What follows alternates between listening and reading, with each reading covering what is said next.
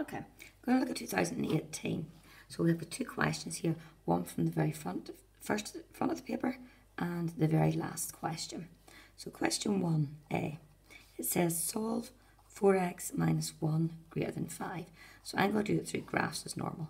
So I'm going to look at sketching y equals 4x minus 1. That's your y equals x graph. So 4x is just much steeper. And minus 1, you just drop it down 1. So minus 1 and y equals 4x minus 1. I want to module the whole graph. So anything that is in beneath the axis, I reflect up. I'm just going to find this here point. So if y is 0, 4x minus 1 is 0, so x is a quarter. You don't necessarily need to find that point, it's just good practice. And that's now 1. Other side of the inequality is 5. For this one, when I am removing the modulus, this is on the negative, this, had, this has been negative. So whenever you remove the modulus, you must put the negative in. This side was always positive in the original graph, so whenever you're removing the modulus, just keep it positive. So minus 4x add 1 equals 5, 4x equals 6.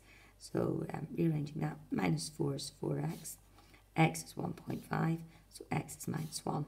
The graph wants when is the modulus graph above 5. So modulus graph is above 5 on this side, so x is greater than 1.5. And to the left here, so x is less than minus 1. Now, the next question is question 8b, the very last part. Now, it's quite tricky.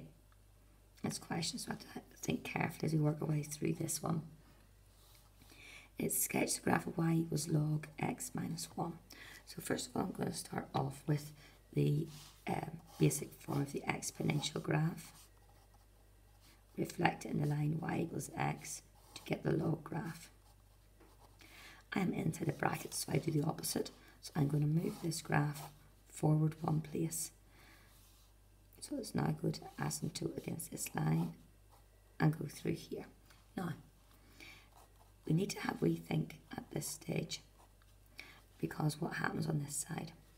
I want you to think about this here point. So if you had x equals 2 and you put it in, you get log 2 minus 1, which is log 1. If I put in x equals 0 into that, I get log 0 minus 1. So log, positive that's 1. I get the same answer. So 0 gives me the same answer as the 2. Try a different one. Let's say x is 3. So log is 3 minus 1, which is log 2. And let's say, keep working down the side, x is minus 1. So log is minus 1 minus 1. So log minus 2, which is log 2 when you modulate. So basically we've got reflection here. And that's our graph.